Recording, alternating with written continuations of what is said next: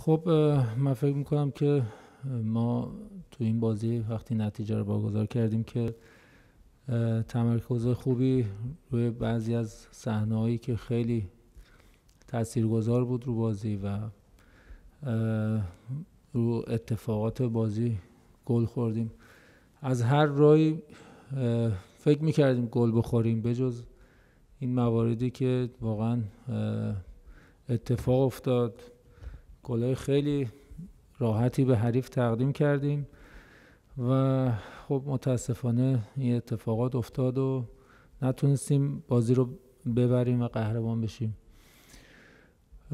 واقعا ناراحتیم از این اتفاقاتی که افتاد و بازیکن هم تلاش خودشونو کردن با تمام کاستیا با تمام کمبودا و با تمام اتفاقات و مشکلاتی که بعد از صعود ما به فینال افتاد برای ما در هر صورت فکر می‌کنم که در مجموع عمل کرده خوبی امروز بازیکن داشتن و از نظر خود من شخصا قهرمان واقعی همین بازیکن و بچه ها هستن با تمام وجودشون بازی کردن با شرف بازی کردن و تا آخرین ثانیه های بازی جنگیدن ولی خب در هر صورت اتفاقات بازی همش بر علیه ما بود و اینجا هم جا داره. از همه هوادارا خود شخص خودم عذرخواهی کنم و در صورت باید خودمون رو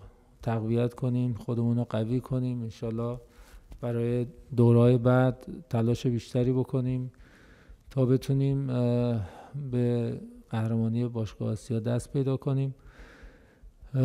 به تیم اولسان هم تبریک میگم. این قهرمانی رو و اونا هم بالاخره تیم شایسته ای بودن و از همه کسایی که زحمت کشیدن برای انجام این مسابقه و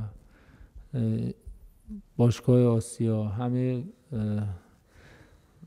اعضای محترم AFC و فدراسیون قطر هم تشکر می‌کنم.